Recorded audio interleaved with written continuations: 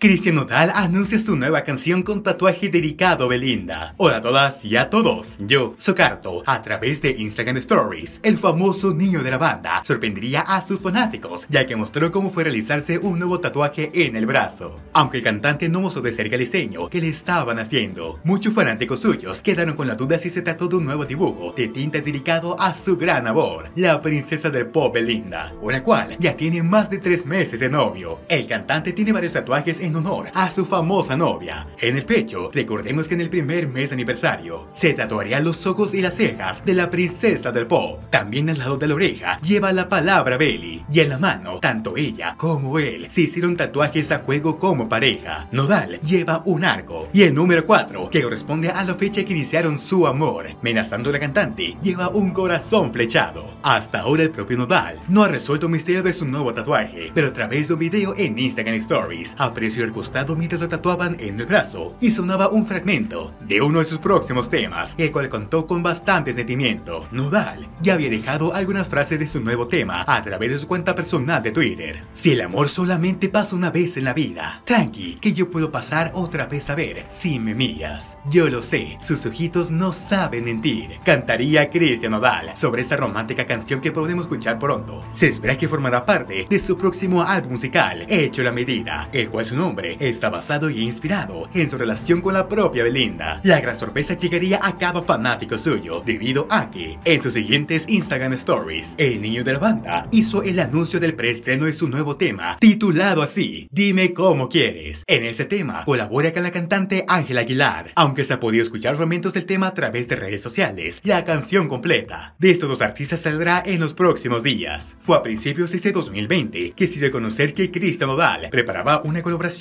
con la hija de Pepe Aguilar. A través de una entrevista que dio Ángela, la joven cantante reveló que Cristian se acercó a ella para trabajar juntos, pero no de manera directa, sino que se comunicó con su papá, pues ella es menor de edad y recientemente cumplió 17 años a través de redes sociales. Antes de la propia relación de Nodelli, surgieron uno que otro rumor sobre supuesto interés amoroso entre ellos dos. Sin embargo, el cantante se encuentra más que feliz junto a su novia Belinda. Pero dime, ¿tú qué opinas acerca de todo todo esto. ¿Qué crees que haya sido lo que realmente Cristian Nodal se habrá tatuado en el brazo? Dejan saber tus especulaciones aquí abajito en la sección de comentarios. No te cortes.